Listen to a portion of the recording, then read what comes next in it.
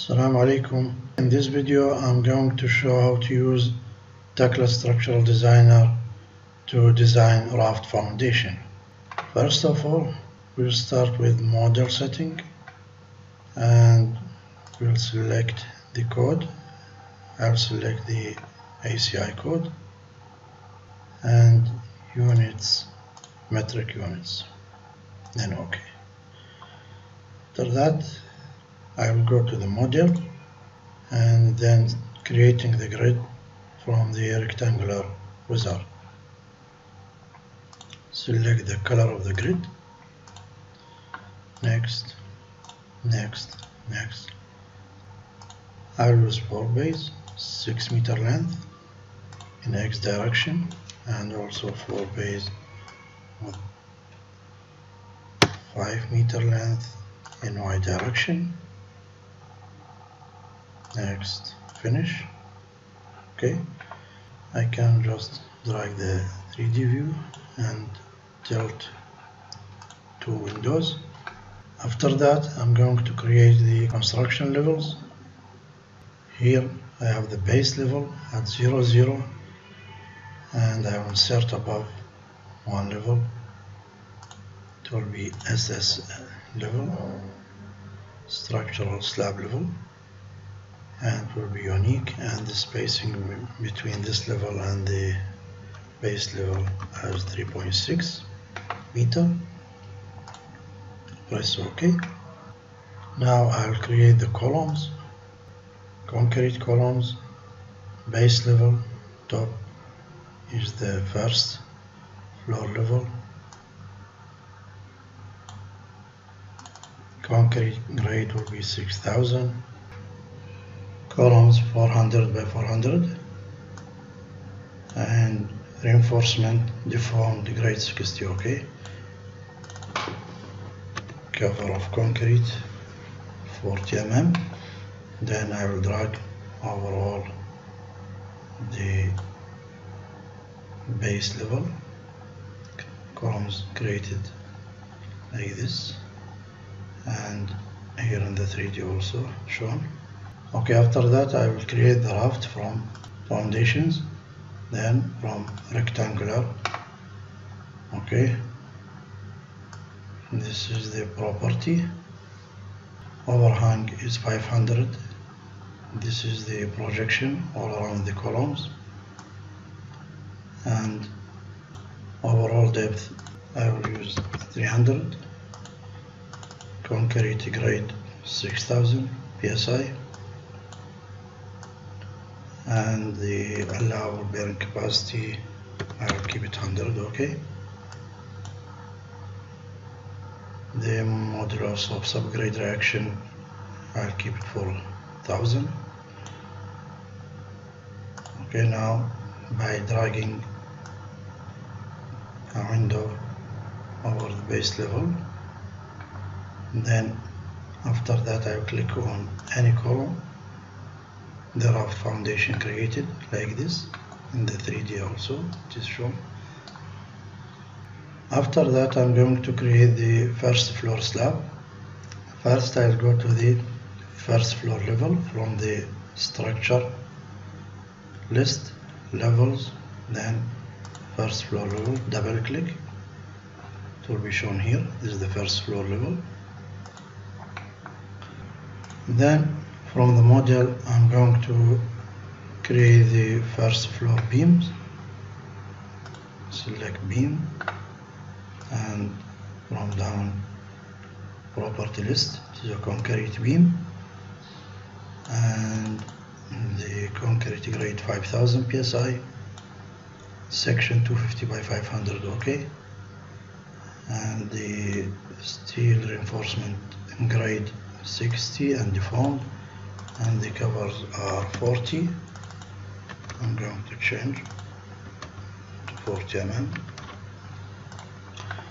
then I can drag over all the plan of the first floor will be created like this. Grid beams. Then after that I will create the slab from this icon by clicking the slab I'm going to property auto design and the depth. I'll select overall depth as 200 and concrete grade 5000 psi then by clicking on the panels I'll create the slab panels on the first floor level as you see. Slab created. Now I'm going to create the loading after that. So going to the load load cases I will delete the snow load roof load also will be deleted. I'll keep the self weight and dead and live loads then OK now from the down list of the loading I'll select the dead load then I'll go to the level load I'll use 5 kilonewton OK and then by clicking on the slab the load will be created like this. Okay? And I can hide the load from here from this list. Then after that I'll select live load from the list. Again the level load and I'll use 3.5 live load and by clicking on the slab also the live load will be created like this okay now I will save the model I'll give name like raft. Save. After that I'm going to create the combination from this icon load combinations from this window I'll go to generate? Then next. And from here I will use only the one combination type which is 1.2D plus 1.6 live for sake of design of the raft. Then next next this all click then finish combinations are created like this. And press OK. Now we finish the load cases and load combinations. Now I will go to the model then validate the model by clicking validate I will see there is one problem. The model general supports supports exists within area of the mat foundation. It's okay because here you see I model the raft while there is also pin support so I will delete all the supports by clicking here. Select the support one by one and delete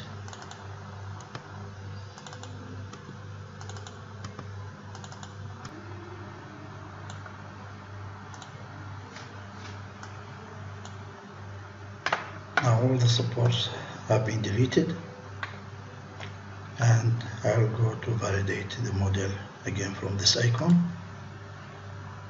I think some supports this not deleted okay.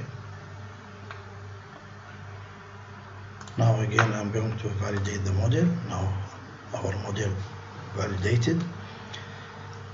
After that I'm going to the analysis analyze all static from this icon.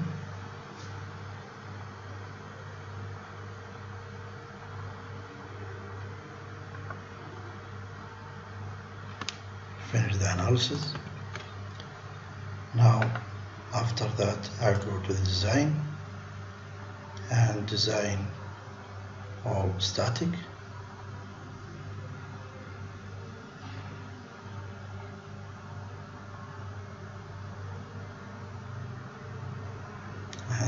see all members are pass columns and beams all are green. Okay.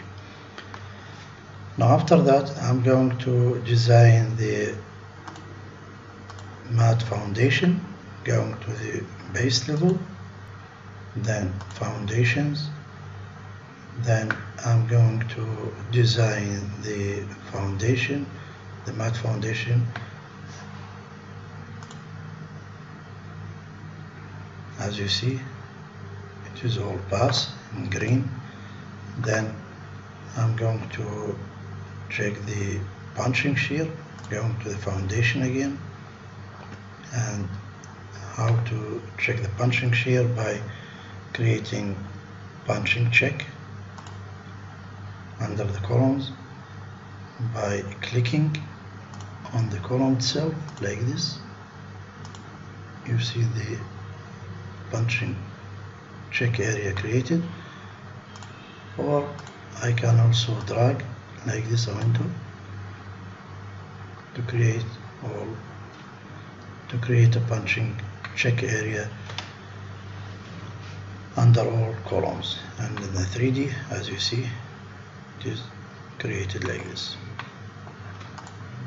Okay now I can go to the design punching shear.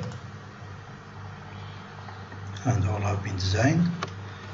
And as you see all pass. If I go here and right click on any punching check area then check punching shear base. It is all pass as shown in the calculations and now I can create a report and from here I can go to material list and show report. So this is for report about the material listing. Then I can export to Excel. And I can open by Excel concrete beams, columns, slab, mat, all details, mass area and the reinforcement and the total mass for concrete and reinforcement. All details can be given here. And I can create drawings by going to draw.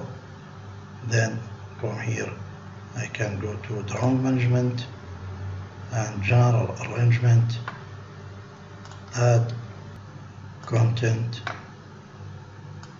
I drag the levels, okay, layout, okay, then view drawings and select the scale 1 to 50 like.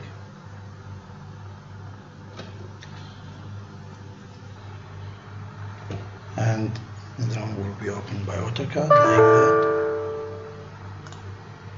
Here as you see the raft general arrangement and here the first floor slab. Also we can create slab mat detailing and foundation layout. We click slab mat detailing and 1 to 50 then as you see this is the reinforcement for the raft foundation. And here also schedule. Slab top and bottom. Reinforcement and here the reinforcement the mass total length total mass. We can also create foundation layout drawing. As you see. And we can create beam schedule there is no beam included here so I have to go to the first floor. I can create the beam schedule. This is the beam schedule for all beams. Dimensions bottom bars top bars stirrups and comments and here the bar bending schedule cutting length and the dimension everything